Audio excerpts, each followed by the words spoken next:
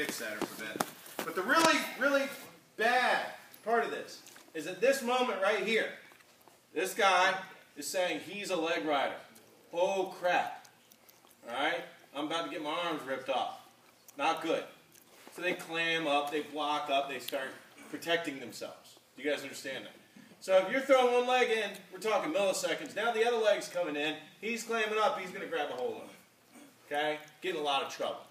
Right? Somehow they grab it, and a lot of guys, um, even my guys on defense, not as worried about getting out of legs as they are about breaking your, your leg off at the knee. You know? I mean, if it's going to be a fist fight in the phone booth, we're up for it. You know what I'm saying? Uh, and that's when that other leg comes in, that's kind of where it starts. All right, so you got to understand that. So that's the bad side. But the good side of having both legs in is when you get them broken down. Okay, they ain't going nowhere. Okay, so when you have both legs in, we start with a power half or whatever. Uh, it's not really parallel. You're off to one side just a little bit because you want that leverage for a power half. Do everybody understand that? Okay, so you don't want to be completely equal. Again, if you have insanely long legs, nobody really here is built like that.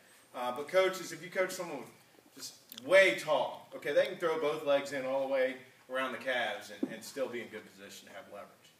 But most of us, okay, one leg is going to be ankle deep, the other leg is going to be laces deep. All right, everybody understand that, okay? And from there, what we're going to do is we're going to get in good position. Now, if I'm on top and I'm trying to chop or claw or half Nelson or anything, which way do I want to move him when I'm on top? Where do I want weight? Do I want weight forward or back? Forward. I want weight forward. I want to break him down forward, right? Most of the time. Most people don't pull him on top, right?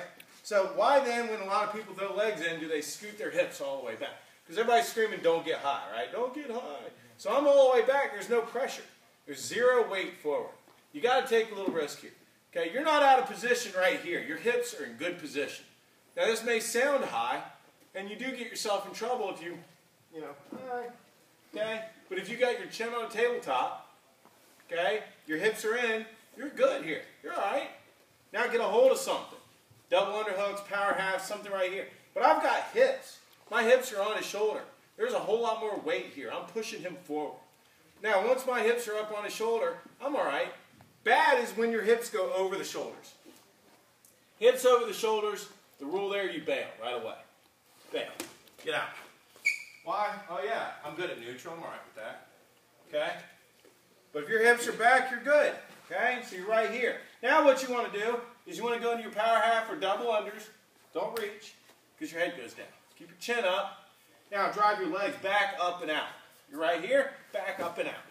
And you want to be able to land without falling to the side and keep his legs in the air. I like to toe the mat. Some people can turk their legs up, lightweights, youth wrestlers can just point their toes up.